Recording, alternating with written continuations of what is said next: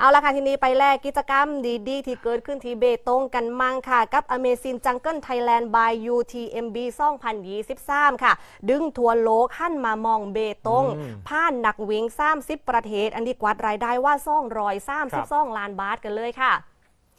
ซึ่งผู้จัดการแข่งขัน Amazing Jungle Thailand by UTMB 2023 แทบปาดน้ำตา อันนี้ไม่ได้เสียใจนะ ดีใจกับความสำเร็จอย่างยิ่งใหญ่ค่ะของการจัดการแข่งขันวิ่งเทรล ในสนามวิ่งเทรล ระดับ World Series ใต้สุดสยาม เมืองงามชายแดนอำเภอเบตงจังหวัดยะลา กวาดรายได้รวม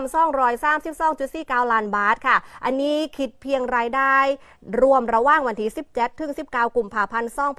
2566 ซึ่งช่วงการจัดกิจกรรมวิ่งเทรลเท่านั้นนะคะ ยังครับไม่ได้รวมถึงการจัดกิจกรรมเบตง festival เลยนะ ซึ่งกิจกรรมนี้ก็จะมีการยกกองทัพร้านค้าว่าจัดซิบร้าน เทศกาลอาหารข้องดีเมืองเบตง แล้วก็แคมเปญวิ่งเที่ยวดื่มกินเช็คอินแอดอืมเบตงค่ะครับตั้งแต่วันที่ 9 ถึง 19 กุมภาพันธ์หลวงหน้างานวิ่งเทรลไปไล่วันนะคะ ก็คือ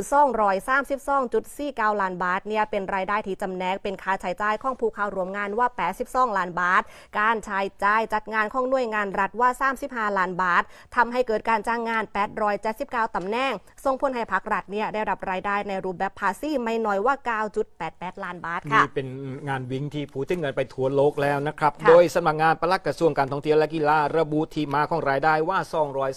232 ล้าน ว่ามีการสำรวจกลุ่มตัวอย่างจากผู้เข้าร่วมงานแบ่งเป็นรายได้ที่ครอบคลุมค่าที่พักอาหารเครื่องดื่มค่าเดินทางสื่อสินค้าข้องที่ระลึกค่าใช้จ่ายในการท่องเที่ยวและอื่นๆนะครับอย่างไรก็ตามครับความเอ่อตัวเลขความสำเร็จเทียบได้กับความประทับใจเบตงที่คุณไม่เคยเห็น again ผ่านนักวิ่งว่า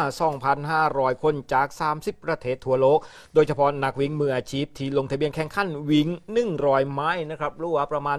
160 กิโลเมตรจำนวน 75 คน มีการขึ้นโพสต์ใน Facebook และสื่อโซเชียลมีเดียอื่นๆ ถึงความ Amazing ของเบตงเมืองเล็กๆทำกลางคุณเข้า และข้าวคราวความไม่สงบ พร้อมเส้นทางวิ่งที่สุดโหดขึ้นเข้าลงห้วย และความงามของธรรมชาติที่ยังไม่ถูกทำลาย ย่างนักวิ่งผู้ใช้ชื่อ Facebook นะครับ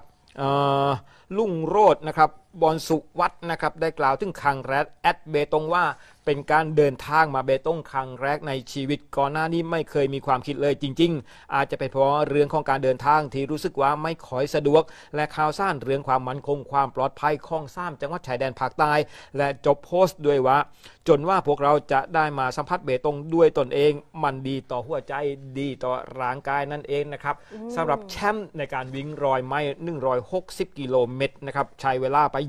25 ชั่วโมงโอ้น้องยิงอ้อมนะครับซันเกเซอร์เบานะครับนักวิ่งจากเนปาลนะครับที่ซ่องเป็นนักวิ่งจากจีนเซียวนิ่งนะครับจากจีนนั่นเองครับแข่งแรงมากๆค่ะ เรานั่งรถ160 โลอย่างเหนื่อยนี่เขาวิ่งกันนะคะพันธุ์พือเบตงก็เป็นเมืองที่น่าเที่ยวอีกเมืองนึงนะคะมีโอกาสก็ต้องมาสัมผัสกันให้ได้ค่ะ